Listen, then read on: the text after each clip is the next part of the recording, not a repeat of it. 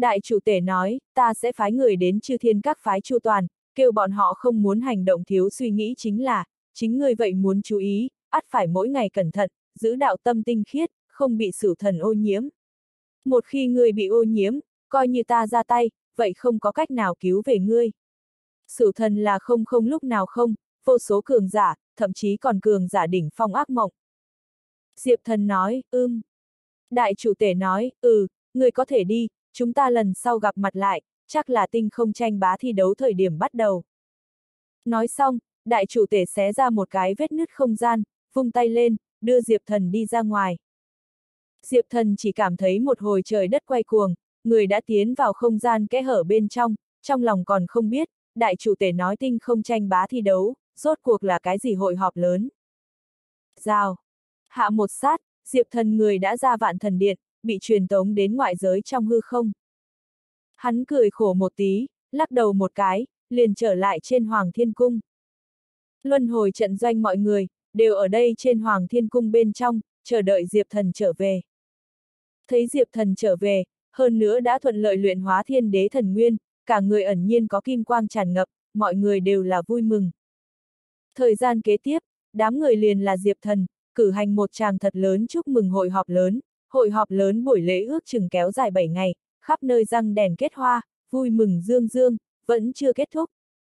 Ngày này ban đêm, Nhâm Phi Phạm ở một tòa trên núi hoang ước gặp Diệp Thần. Trăng sáng trên không, Nhâm Phi Phạm vẻ mặt mang sầm uất tan mất phiền muộn, yên lặng sử dụng một kiện pháp bảo, giao cho Diệp Thần, nói, Diệp Thần, cái này thiên đế Kim Luân, ta ngày hôm nay liền chính thức truyền cho ngươi. Pháp bảo này, chính là bốn đại trí cao thần khí một trong, thiên đế Kim Luân. Thiên đế Kim Luân, là đẹp thần chế tạo pháp bảo, năm đó đẹp thần cũng muốn cầm thiên đế Kim Luân, cung phụng cho luân hồi. Nhâm phi phàm đã sớm nói, cùng Diệp thần bước lên thần sau đó, hắn sẽ đem thiên đế Kim Luân truyền cho hắn. Diệp thần nhìn thiên đế Kim Luân, nội tâm khá là chấn động, yên lặng đem pháp bảo nhận lấy, chỉ cảm thấy thiên đế Kim Luân bên trong, truyền ra từng cơn khoáng đạt minh mông năng lượng, nói pháp bảo này, quả nhiên là thần trí cao khí, năng lượng khủng bố rất. Nhâm phi phàm nói, dĩ nhiên, người có pháp bảo này mà nói, tương lai tham gia tinh không tranh bá thi đấu, thì có thể hơn một phần chắc chắn. Diệp thần một hồi ngạc nhiên, nói tinh không tranh bá thi đấu, đây là cái gì hội họp lớn. Ta tựa hồ nghe đại chủ tể vậy đề cập tới. Nhâm phi phàm gật gật đầu nói, thực đó chính là đại chủ tể sắp vì ngươi chuẩn bị hội họp lớn. Ta đã lắng nghe đến đại chủ tể thanh âm, hắn nói hắn sẽ đích thân ra mặt, đi và chân lý hội người câu thông, kêu bọn họ mở cửa tinh không núi thần, cung cấp người bên ngoài tranh đoạt. Chư thiên các phái, có thể các phái sai thiên nguyên cảnh người đi tham chiến, ai như thắng được, ai là được vào ở tinh không núi thần, đây chính là tinh không tranh bá. Chàng này hội họp lớn, đại chủ tể hạn định thiên nguyên cảnh người tham gia, rõ ràng chính là vì ngươi chuẩn bị, nhưng ở không không lúc nào không, thiên nguyên cảnh võ giả cũng không thiếu xuất chúng hạng người, người muốn bắt lại tinh không tranh bá cuộc so tài hạng nhất, cũng không phải cái gì chuyện dễ. Đại chủ tể là muốn đưa ngươi một chàng thiên đại cơ duyên, nhưng ngươi cũng phải có năng lực tiếp mới được. Diệp thần nói, tinh không núi thần, vậy thì là cái gì thánh địa? Trong sâu thẳm, Diệp thần bắt được thiên cơ, vậy tinh không núi thần, tựa hồ cùng trong truyền thuyết tinh không bờ bên kia, sâu xa đặc biệt thâm hậu. Nhâm phi phàm nói, tinh không núi thần, đó là truyền thuyết bên trong, một tòa vô hạn cao đỉnh núi, đỉnh núi có thể chạm tới tinh không bờ bên kia thế giới. Đây là không không lúc nào không, gần gũi nhất tinh không bờ bên kia địa phương, địa mạch năng lượng linh khí nhất là dư thừa, nếu như chúng ta có thể lấy được hạng nhất mà nói, luân hồi trận doanh liền có thể vào ở tinh không núi thần, có thiên đại chỗ tốt. Chỗ đó, một mực do chân lý hội nắm trong tay. Chân lý hội cự tuyệt mở cửa tinh không núi thần, một mực phong ấn ngọn núi kia, chờ đợi Nguyên Thiên Đế ngày nào đó trở về. Năm đó Nguyên Thiên Đế, chính là ở tinh không núi thần đỉnh núi, đánh vào tinh không bờ bên kia, cuối cùng tiếc núi thất bại. Hôm nay đại chủ tể ra mặt, muốn chân lý hội mở cửa tinh không núi thần, cũng tổ chức tinh không tranh bá thi đấu, mời chư thiên các phái cường giả tham chiến, ai nếu như thắng được, ai là được vào ở tinh không núi thần, đây là vì ngươi chuẩn bị cơ duyên. Phỏng đoán không bao lâu, tinh không tranh bá cuộc so tài thiệp, liền sẽ phát đến trên tay chúng ta. Diệp thần rất giật mình, nói, nếu tinh không này núi thần, như vậy thần thánh, chân lý hội làm sao sẽ chắp tay nhường cho người. Chân lý hội là nguyên thiên đế dưới quyền thế lực, Diệp Thần lúc này nghe được nhâm phi phàm mà nói, vậy bắt được thiên cơ, biết trong quá khứ vạn cổ trong năm tháng, chân lý hội một mực cố thủ niêm phong tinh không núi thần, sẽ chờ nguyên thiên đế vương giả trở về ngày hôm đó. Tinh không núi thần, địa phương trọng yếu như vậy, chân lý hội lại có thể đối ngoại mở cửa, còn tổ chức thi đấu, cho phép người thắng vào ở, đơn giản là không tưởng tượng nổi. Nhâm phi phàm cười nói, đại chủ tể ra mặt, hắn tự nhiên có hắn biện pháp, tóm lại, tinh không này tranh bá thi đấu, là tất nhiên muốn cử hành, đây là vì ngươi chuẩn bị đại cơ duyên. Diệp thần trong lòng dâng lên một hồi nhiệt huyết, nói, đại chủ tể thật là để mắt ta, vậy tinh không này tranh bá thi đấu, ta chính là muốn cùng chư thiên các phái thiên nguyên cảnh hảo thủ cạnh tranh. Nhâm phi phàm nói, đúng vậy. Hắn thần sắc chợt lại phiền muộn xuống, nói, nhưng, ta lo lắng, người không sống tới tinh không tranh bá cuộc so tài ngày hôm đó. Diệp thần nói, tại sao? Là không không thời không hắc ám chiếm đoạt sao? Trước đây Diệp thần vận dụng luân hồi thư kiếp bụi, đem bước lên thần độ kiếp thất bại kết quả, sửa đổi vì trở thành công, sâu hơn hắc ám chiếm đoạt, cái này đích xác có thể cho hắn tạo thành chí mạng nguy hiểm. Nhâm phi phàm lại nói, không phải cái này, hắc ám cắn nuốt bệnh xấu, có thể dựa vào quang minh chi tâm giải quyết. Nhưng, người đắc tội cổ tinh môn và thiên khư thần điện, tù binh cổ tinh môn thánh nữ, lại giết chu võ hoàng, bọn họ không thể nào từ bỏ ý đồ. Cốt thiên đế, chu mục thần các người, rất có thể phải tự mình động thủ, không tiếc giá phải trả giết ngươi. Ngươi tiếp theo mỗi thời mỗi khắc có thể đều phải để lại ý trong bóng tối tay, đó là một cái tràn đầy vô tận máu tươi và giết hại tay. Nó sẽ biến dạng ngươi thân thể, xâm nhiễm ngươi đạo tâm, hủy diệt ngươi hết thảy. Nếu như bọn họ cố ý muốn xé rách ra mặt, bỏ mặc thiên đao thể hẹn hạn chế, tự mình động thủ giết ngươi, ta sau chuyện này cố nhiên có thể trả thù, nhưng ngươi chết, nhưng là không thể sống lại. Diệp thần trao mày, nhất thời trầm mặc xuống, đây chính là một khó giải quyết phiền toái, hắn cùng những cái kia cao cấp thiên đế tới giữa, thực lực chênh lệch quá xa. Nhâm phi phàm nói, ta hiện tại có cái đặc biệt mạo hiểm biện pháp, có thể giúp ngươi tranh thủ 3 năm thời gian, để cho ngươi thuận lợi sống đến tinh không tranh bá thi đấu bắt đầu ngày. Chỉ cần ngươi có thể sống đến tinh không tranh bá thi đấu, lấy được hạng nhất, vào ở tinh không núi thần, nhất định là khí vận bạo tăng, hơn nữa có thể đem linh hồn ký thác vào tinh không thần trong ao mặt, chỉ cần tinh không núi thần bất diệt, tinh không thần ao không khô héo, người liền vĩnh viễn sẽ không chết, cho dù chết cũng có thể ở tinh không thần trong ao sống lại. Như vậy thứ nhất, là được miễn đi nỗi lo về sau, không cần lại lo lắng những cái kia cao cấp thiên đế đuổi giết. Nhưng vấn đề là, người nhất định phải sống đến tinh không tranh bá thi đấu bắt đầu ngày trước, nếu không hết thảy đều là nói không. Diệp thần ánh mắt liền sáng, nói, linh hồn gửi nhờ tinh không thần ao, liền có thể vĩnh viễn không chết. Tinh không này núi thần, lại thần thánh như vậy, nhâm tiền bối, người biện pháp vậy là cái gì? Nhâm phi phàm đưa tay ra, trong tay hồi vụ dâng trào, một viên cho bụi thiên tinh chậm rãi nổi lên, chính là luân hồi thư kiếp bụi. Ta dự định hiến tế viên này luân hồi thư kiếp bụi, sửa đổi đi qua, để cho ngươi chết đi, nguyên nhân cái chết chính là ngươi nuốt ăn chu võ hoàng, bị hắn ý chí cắn trả và chu mục thần nguyền rủa, hơn nữa ngươi sửa đổi độ kiếp kết quả bị cắn trả, cuối cùng chư họa biến chứng, bất hạnh chết thảm. Dĩ nhiên, ngươi sẽ không thật chết đi, luân hồi thư là luân hồi tạo vật, tự nhiên sẽ không giết chết ngươi. Nhưng là, người ngoài cũng không sẽ như thế cho rằng, chỉ cần ta sửa đổi đi qua, người ngoài thì thật cho rằng ngươi chết. Người người cũng cho rằng ngươi chết, thế gian cũng chưa có người người này, sẽ không lại có người chú ý tới ngươi, ngươi liền có thể yên tâm tu luyện, không cần lại lo lắng cái gì cổ tinh môn, thiên khư thần điện đuổi giết. Ta hiến tế luân hồi thư kiếp bụi, có thể bùng nổ vô cùng lực lượng cường hãn, che giấu thiên cơ, chỉ cần ngươi không nói, ta không nói, không người biết thế giới bị sửa đổi, người người cũng cho rằng ngươi là thật chết đi. Vậy thiên cơ che giấu, đại khái có thể kéo dài 3 năm, 3 năm sau đó mới biết bại lộ, đến lúc đó, vậy vừa lúc là tinh không tranh bá thi đấu bắt đầu ngày, ngươi ở trong trận đấu lớn hiện thân, chỉ cần có thể lấy được hạng nhất, bại lộ cũng không sao. Dĩ nhiên, làm như vậy, luân hồi trận doanh mất đi người đáng tin cậy, rất có thể đưa tới kịch liệt hỗn loạn, ta không biết sẽ có hậu quả gì không, đặc biệt mạo hiểm. Diệp thần nghe xong nhâm phi phàm mà nói, tại chỗ bối rối, hoàn toàn rung động, không nói ra lời. Nhâm phi phàm cái này ý nghĩ, thật sự là vô cùng điên cuồng, lại muốn sửa đổi đi qua, để cho hắn chết đi, từ đó là hắn tranh thủ 3 năm thời gian tu luyện, sống đến tinh không tranh bá cuộc so tài ngày hôm đó. Ngươi cảm thấy, ta cái này tác phẩm muốn như thế nào? Nhâm phi phàm ngắm nhìn Diệp Thần, hỏi. Diệp Thần ngẩn ra hồi lâu, mới lẩm bẩm nói, nhâm tiền bối, ngươi sửa đổi đi qua, để cho ta chết đi, ta sẽ phải chịu tổn thương gì? Nhâm phi phàm nói, ngươi sẽ không bị thương, chỉ là luân hồi trận doanh người, cũng cho rằng ngươi chết, có thể sẽ đưa tới không biết hỗn loạn.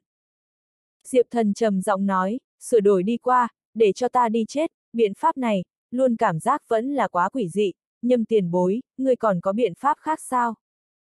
Nhâm phi phàm thở dài nói, không có, nếu như cổ tinh môn và thiên khư thần điện, cố ý xé rách ra mặt, liên thủ đuổi giết ngươi, ta có thể không gánh nổi ngươi.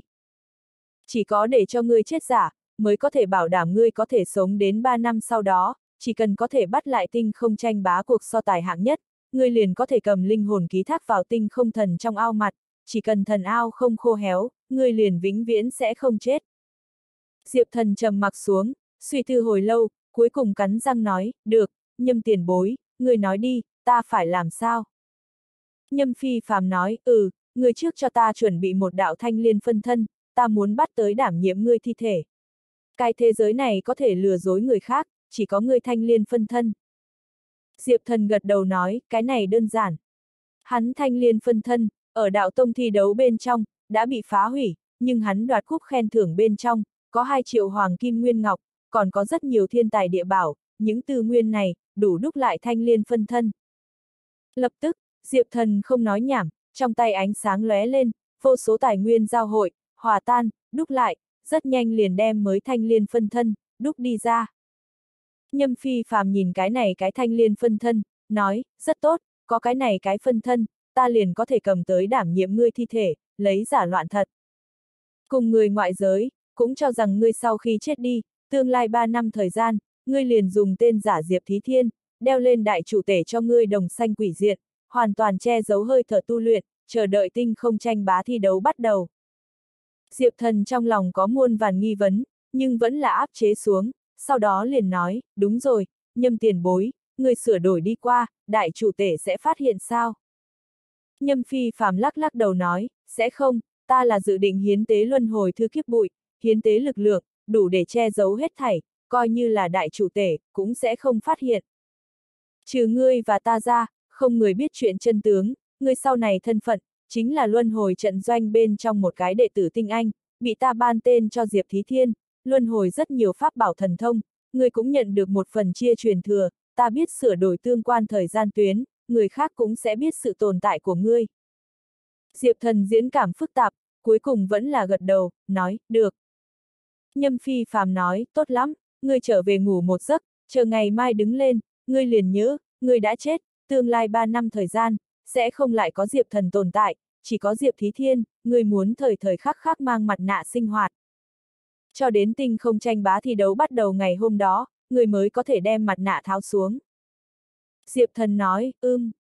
Thương nghị đã định, Diệp thần một mình trở lại trong tẩm cung, dùng trước luân hồi máu, xua tan đồng xanh quỷ diện oán khí, rồi sau đó ôm phức tạp tâm tình, trầm trầm ngủ đi. Một đêm này, Diệp thần cảm thấy trời đất quay cuồng, cả thế giới tựa như đều ở đây vặn vẹo, vô số thời gian, không gian, nhân vật, nhân quả, thiên cơ, không ngừng biến ảo. Đến được sáng sớm ngày thứ hai, Diệp thần bị một hồi bịch bịch tiếng đập cửa đánh thức. Này, Diệp Thí Thiên, ngươi làm sao còn không đứng lên? Ngươi phải ngủ tới khi nào à? Hôm nay là thiên chủ hạ táng ngày, huyết nguyệt thiên đế đợi ngươi tốt như vậy, cầm thiên đế Kim Luân và Luân hồi thiên quốc cũng chuyển cho ngươi, ngươi chẳng lẽ không tự mình đi là chúa trời đưa tang sao? Ngoài cửa truyền tới một hồi thanh âm rồn rập. Diệp thần tỉnh lại, mở mắt ra, chỉ cảm thấy nhức đầu đau sắp nứt, vô số trí nhớ thác loạn. Hắn hít sâu một hơi, mới đưa trí nhớ sửa sang lại, phát hiện qua đi thời gian tuyến thật giống như vặn vẹo, có rất nhiều trí nhớ vô căn cứ tràn vào hắn đầu óc bên trong. Những ký ức này, và một cái kêu là Diệp Thí Thiên người có liên quan. Diệp Thí Thiên, là luân hồi trận doanh bên trong một cái đệ tử tinh anh, bởi vì là thiên phú lớn lao, bị nhâm phi phạm ban tên cho, mới kêu Diệp Thí Thiên.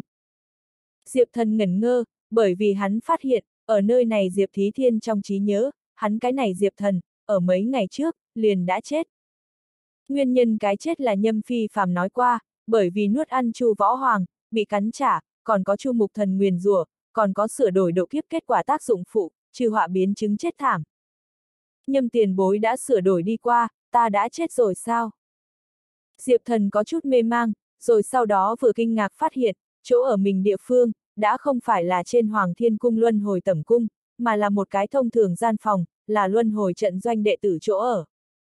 Thế giới tuyến bị sửa đổi, liền Diệp thần vị trí chi địa, vậy biến hóa theo, thật sự là cực kỳ quỷ dị. Này, Diệp Thí Thiên, mau dậy đi à! Ngoài cửa tiếng đập cửa còn đang kéo dài. Tới! Diệp thần đáp một tiếng, lấy lại bình tĩnh, liền cầm ra đồng xanh quỷ diệt, vững vàng mang lên mặt, lại nhìn xem trên người mình ăn mặc, quả nhiên cũng là bị thay đổi, thành đệ tử bình thường ăn mặc. Hắn đẩy cửa đi ra ngoài, liền gặp đứng ngoài cửa một cái nhóc mập, cũng là luân hồi trận doanh bên trong đệ tử bình thường. Diệp thần đầu óc bên trong, tự nhiên làm theo sông ra một cổ đặc thù trí nhớ, là Diệp Thí Thiên trí nhớ, cái này nhóc mập kêu Lưu Khải Minh, và Diệp Thí Thiên là cùng nhau lớn lên huynh đệ. Nhưng thực, Diệp Thí Thiên là không tồn tại, Lưu Khải Minh cũng không có cái này huynh đệ. Nhưng mà, bởi vì nhâm phi phàm sửa đổi đi qua, vô căn cứ tạo một cái Diệp Thí Thiên đi ra, cho nên tất cả tương quan thế giới tuyến, toàn bộ bị thay đổi. Qua, wow, người cái này mặt nạ, thật đúng là soái rất, huyết nguyệt thiên đế đối ngươi quá tốt, thiên chủ di vật cũng truyền cho ngươi. Lưu Khải Minh nhìn Diệp thần đồng xanh quỷ diện, luôn miệng khen ngợi, hâm mộ liên miên nói. Diệp thần đầu óc bên trong tự nhiên làm theo sông ra rất nhiều trí nhớ, chính là Diệp thần chết, rất nhiều di vật do nhâm phi phạm phân phối, phần lớn cũng chuyển cho Diệp Thí Thiên. Cho nên những ngày kế tiếp, Diệp thần tuy mang mặt nạ, nhưng không cần tận lực che giấu luân hồi thần thông pháp bảo, có thể tận tình sử dụng, sẽ không dụ cho người hoài nghi. Nhâm phi phàm cân nhắc rất chu đáo, tương quan thế giới tuyến cùng nhân quả, toàn bộ sửa đổi được tận thiện tận mỹ, bảo đảm Diệp thần coi như mai danh ẩn tính, tự thân chiến lực vậy sẽ không phải chịu quá lớn hạn chế. Lưu Khải Minh, thiên dòng chủ thật đã chết rồi sao? Diệp thần có chút ngẩn ra, ngẩng đầu nhìn trước mắt thế giới.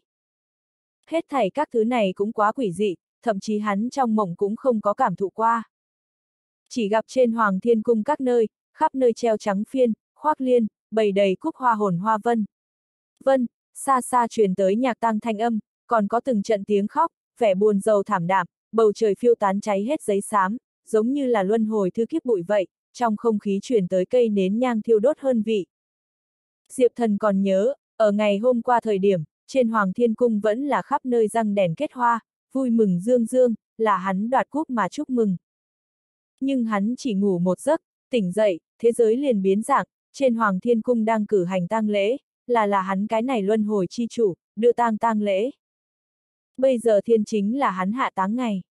Lưu Khải Minh nghe Diệp Thần mà nói, than thở một tiếng, nói à, cái này tất cả mọi người đều không cách nào tiếp nhận, trời ghen tị anh tài, thiên chủ bất hạnh cưỡi hạc, chúng ta luân hồi trận doanh không có người đáng tin cậy, sau này thật không biết như thế nào cho phải. Ta biết ngươi rất thương tâm, nhưng ngươi phải thừa kế thiên chủ di trí, ngàn vạn đừng tự giận mình. Diệp thần gật đầu, trong chốc lát không biết nói cái gì cho phải. Lưu Khải Minh nói, đi thôi, thời điểm không còn sớm, chúng ta phải đi là chúa trời tống táng. Diệp thần nư một tiếng, liền đi theo Lưu Khải Minh, đi trên Hoàng Thiên Cung quảng trường. Đi tới trên quảng trường, Diệp thần thấy được vô cùng nguy nga rung động một màn. Toàn bộ quảng trường, chất đầy không không lúc nào không hồn hoa chế tạo vòng hoa và khoác liên.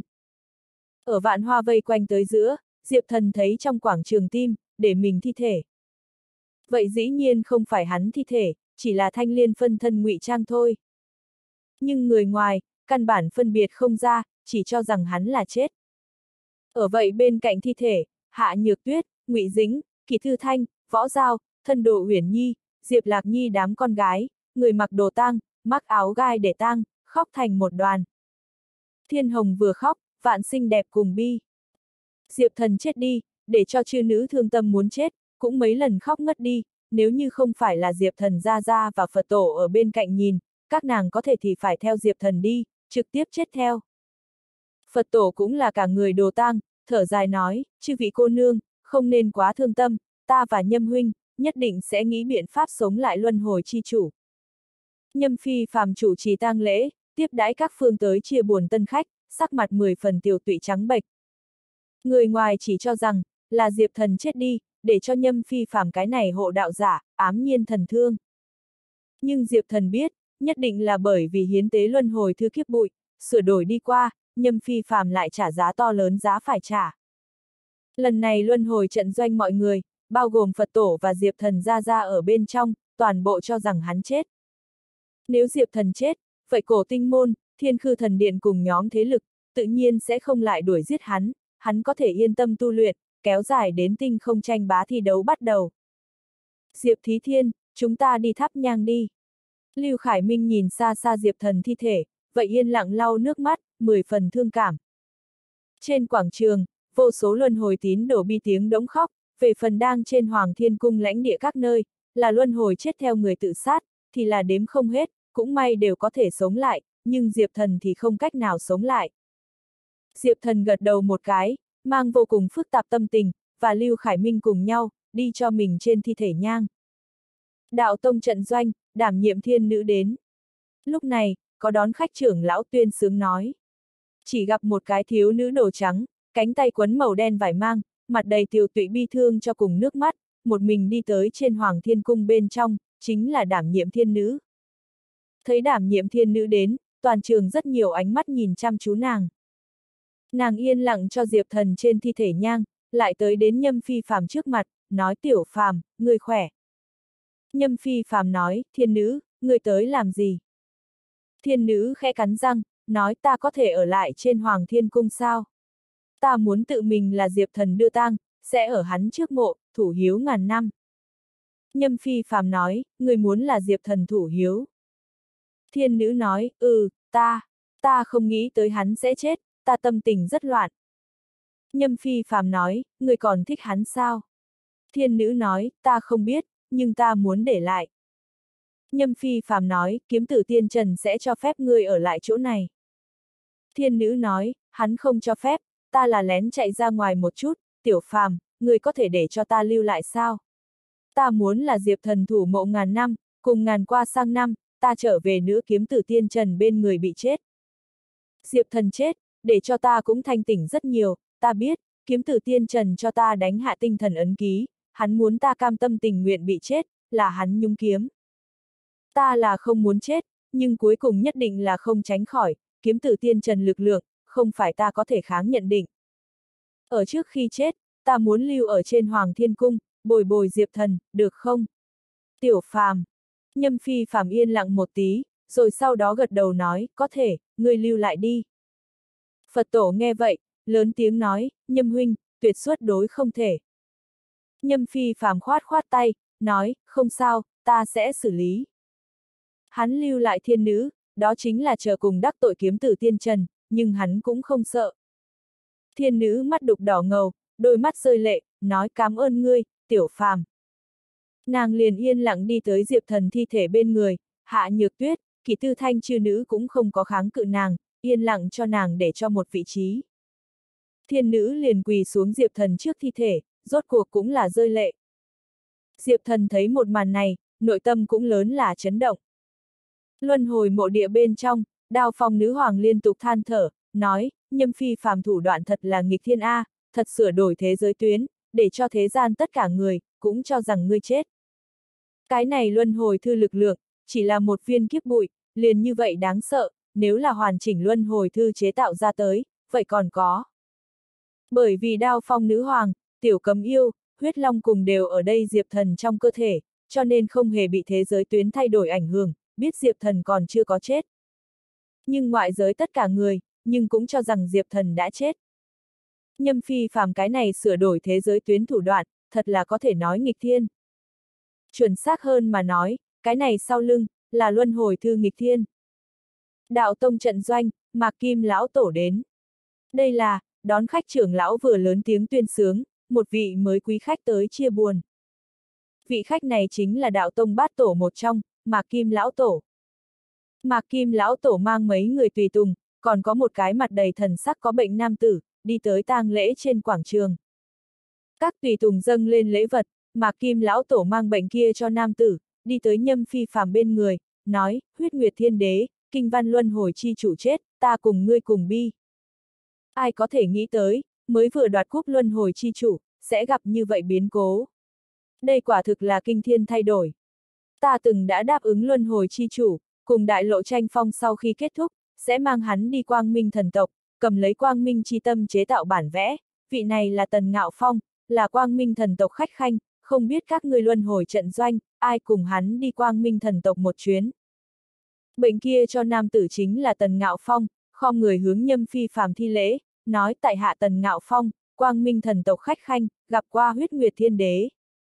Kinh văn luân hồi chi chủ trầu trời, ta cũng rất là khiếp sợ đau buồn, nhưng cái này quang minh chi tâm bản vẽ, dù sao phải có người thừa kế, không biết các người luân hồi trận doanh, ai nguyện ý cùng ta đi một chuyến.